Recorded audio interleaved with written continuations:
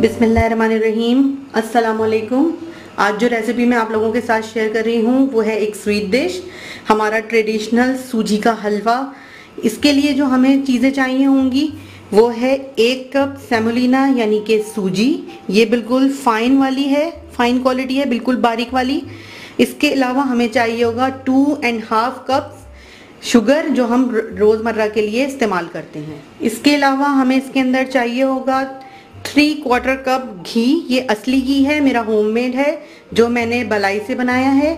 उसके अलावा इसके अंदर जाएगा one fourth teaspoon green cardamom का पाउडर केवड़े का वाटर और उसके अलावा हम इसके अंदर ऑरेंज कलर ऐड करेंगे। हलवा बनाने के लिए सबसे पहले मैंने एक पतीली ले ली है। उसके अंदर जिस मग से मैंने सूजी और चीनी नापी थी, उसी से मैं पानी नाप के रख रही हूँ। ये पूरा परफेक्ट थ्री कप्स चाहिए हमको। इसके बाद मैं इसके अंदर शुगर ऐड कर दूँगी अब हम शीरा पकाना शुरू कर देते हैं। इसको हम एक आध दफ़ा चमचा चला लेंगे। पानी में डालने के बावजूद चीनी कभी कभार लग जाती है। तो अब मैं इसे दरमियानी आँच के ऊपर पकाने के लिए रख रही हूँ। जब ये रेडी हो जाएगा तो मैं आपको बता दूँगी, इसमें कोई तार नहीं चाहिए हमें। सिर्फ़ और सिर्फ़ इतना करना है कि जब ये पके तो इसके अंदर चीनी जो है वो डिजोल्व सिंपल सिरप बनाने के लिए मैं इसे दूसरे चूल्हे पे रख रही हूँ और फिर मैं आपको हलवा बनाना सिखाती हूँ।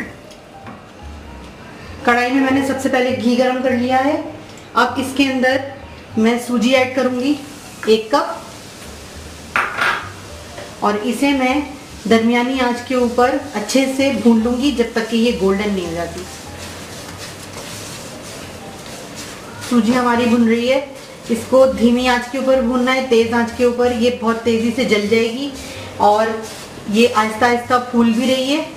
सिर्फ़ और सिर्फ़ हमको इसको तब तक चलाते रहना है जब तक ये लाइट ब्राउन कलर में ना आ जाए।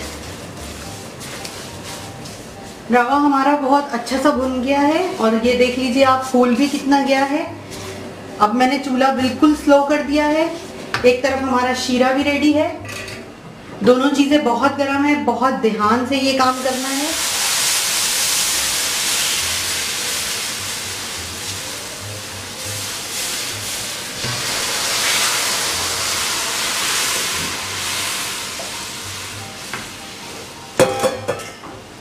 इसे देखकर आप ये बिल्कुल मत समझिएगा कि ये हलवे की जगह हरी रंग उसके अंदर ऐड कर देंगे, छोटी इलायची का पाउडर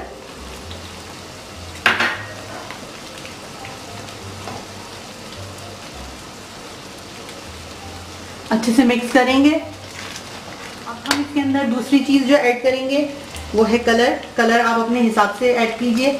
जितना तेज़ या हल्का आपको पसंद है।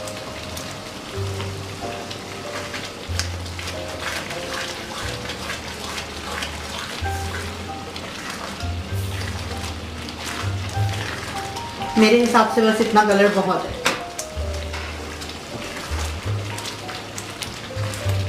इसे दो से तीन मिनट पकाने हैं। एक मिनट इसके अंदर तकरीबन ऑलरेडी हो चुका है।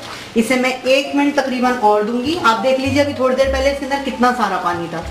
लेकिन अब इसके अंदर कितना कम पानी रहेगी अब इस स्टेज पे मैं इसके अंदर ऐड करूँगी। वन टीस्पून केवड़ा वाटर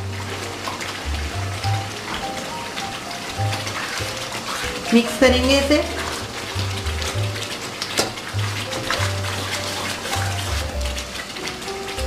और अब मैं इसके नीचे फ्लेम ऑफ़ कर रही हूँ।